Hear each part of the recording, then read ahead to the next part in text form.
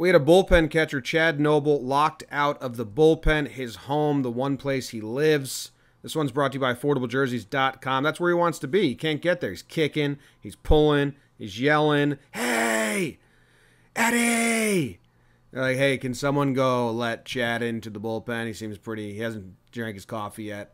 This kid on the right, I mean the left, check him out. He's going to dig into his pocket there. He's like, hey, uh, I got the keys. He's the hero of this story.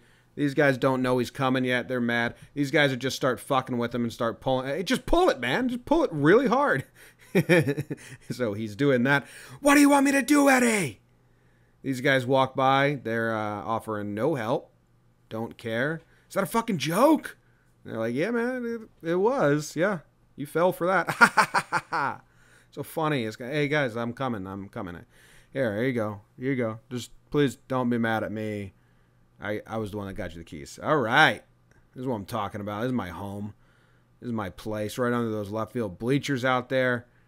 Having a blast now. Going to drink his coffee. Going to set up shop. Going to get going with his day. Looks at the door. It's propped up now for him. I don't know if he did it. Someone did it for him. They got the little uh, tape holder ticket line thingy and a chair on the left. This is perfect. This is beautiful. Go to affordablejerseys.com. Use discount code breakdown. Get yourself a Chad Noble jersey. You guys sell uh, bullpen catcher jerseys, affordable jerseys? If not, might want to get on that.